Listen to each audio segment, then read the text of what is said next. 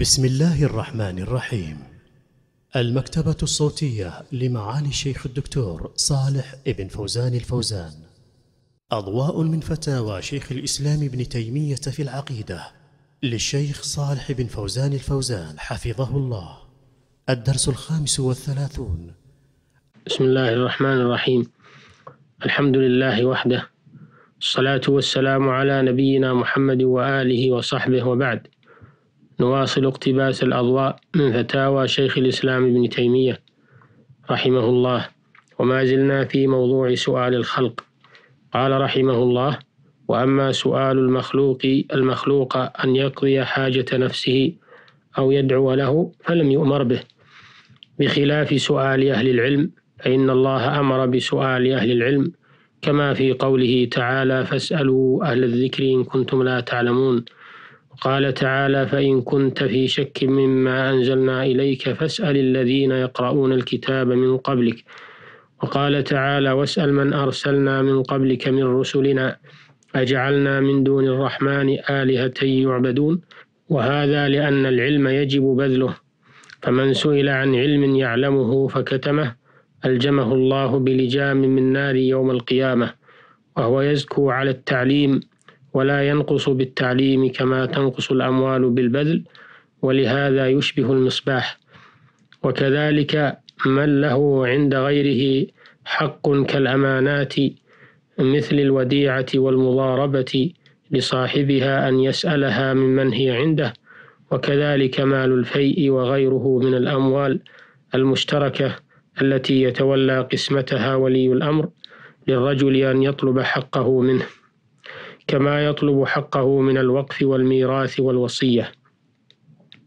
ومن هذا الباب سؤال النفقة لمن تجب عليه وسؤال المسافر الضيافة لمن تجب عليه كما استطعم موسى والخضر أهل القرية.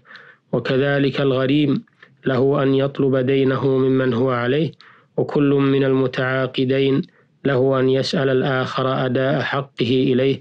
فالبائع يسأل الثمن والمشتري يسأل المبيع ومن هذا الباب قوله تعالى واتقوا الله الذي تساءلون به والأرحام. ومن السؤال ما لا يكون مأمورا به والمسؤول مأمور بإجابة السائل قال تعالى وأما السائل فلا تنهر. قال تعالى والذين في أموالهم حق معلوم للسائل والمحروم. قال تعالى فكلوا منها واطعموا القانع والمعتر. ومنه الحديث إن أحدكم ليسألني المسألة فيخرج بها يتأبطها نارا. وقد يكون السؤال منهيا عنه نهي تحريم أو تنزيه وإن كان المسؤول مأمورا بإجابة سؤاله. فالنبي صلى الله عليه وسلم كان من كماله أن يعطي السائل وهذا في حقه من فضائله ومناقبه وهو واجب أو مستحب. وإن كان وإن كان نفس سؤال السائل منهيا عنه. إلى أن ذكر الشيخ رحمه الله أن من آداب المعطي والمنفق ألا يمن بعطائه ولا يطلب ولا يطلب من المعطي جزاء على ذلك من الخلق. قال ومن الجزاء أن يطلب الدعاء.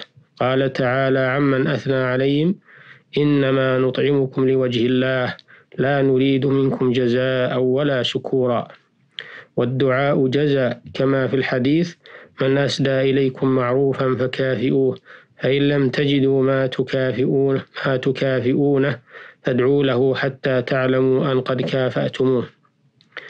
وكانت عائشة إذا أرسلت إلى قوم بصدقة تقول للرسول اسمع ما يدعون به لنا حتى ندعو لهم بمثل ما دعوا لنا ويبقى أجرنا على الله. وقال بعض السلف إذا قال لك السائل بارك الله فيك فقل وفيك بارك الله. فمن عمل خيرا مع المخلوقين سواء كان المخلوق نبيا أو رجلا صالحا أو ملكا من الملوك أو غنيا من الأغنياء فهذا العامل للخير مأمور بأن يفعل ذلك خالصا لوجه الله يبتغي به وجه الله. لا يطلب به من المخلوق جزاء ولا دعاء ولا غيره لا من نبي ولا رجل صالح. فإن الله أمر العباد كلهم أن يعبدوه مخلصين له الدين. وهذا هو دين الإسلام الذي بعث الله به الأولين والآخرين من الرسل فلا يقبل من أحد دينا غيره. قال تعالى ومن يبتغي غير الإسلام دينا فلن يقبل منه وهو في الآخرة من الخاسرين ودين الإسلام مبني على أصلين أن نعبد الله وحده لا شريك له وأن نعبده بما شرعه من الدين وهو ما أمرت به الرسل أمر إيجاب أو أمر استحباب. فيعبد فيعبد في كل زمان بما أمر به في ذلك الزمان. فلما كانت شريعة التوراة محكمة صار العاملون بها مسلمين. وكذلك شريعة الإنجيل وكذلك في أول الإسلام لما كان النبي صلى الله عليه وسلم يصلي إلى بيت المقدس كانت صلاته إليه من الإسلام. ولما أمر بالتوجه إلى الكعبة كانت الصلاة إليها من الإسلام والعدول عنها إلى الصخرة خروجا عن دين الإسلام. فكل من لم يعبد الله بعد مبعث محمد صلى الله عليه وسلم بما شرعه الله له من واجب ومستحب فليس بمسلم. ولا بد في جميع الواجبات والمستحبات أن تكون خالصة لله رب العالمين.